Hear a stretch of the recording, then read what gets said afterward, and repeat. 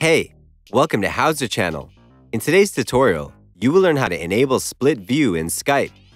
Split window view lets you put your contact list in one window and each conversation you open in a separate one. You can drag your contact and conversation windows anywhere on your screen to really personalize the way you use Skype. Open Skype app. Go to the left side panel. Click on the three dots at the top right corner. Choose Settings from the list. A new window will open. Select Appearance from the left side list. Scroll down and look for Split View Block. If you want to enable split mode, turn the switch on next to the Enable Split View Mode option. You will have two Skype windows. You can also disable the option. You need to turn the switch off next to the Enable Split View Mode option.